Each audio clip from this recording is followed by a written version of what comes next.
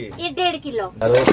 हमने बड़ा लहसुन नहीं डालता है। अच्छा वो होता है सरकारी लहसुन। भाई ये भी टैलेंट है यार।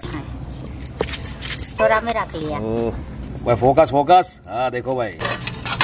ये लकड़ी जलाना है मेरे को। मोटी लकड़ी। अच्छा। बकरा की चिकन मीट इसमें गलेगी। अब इसमें मैं डालता है मीट। ओके।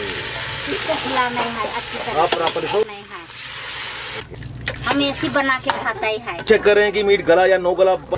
गल गया। गल गया जी गल गया। डालो डालो डालो। ओ। राइफल देते कैसे? राइफल भाई आप ओ निकल जा निकल अरे निकल गया रे बाबा लोडेड निकल गया लोडेड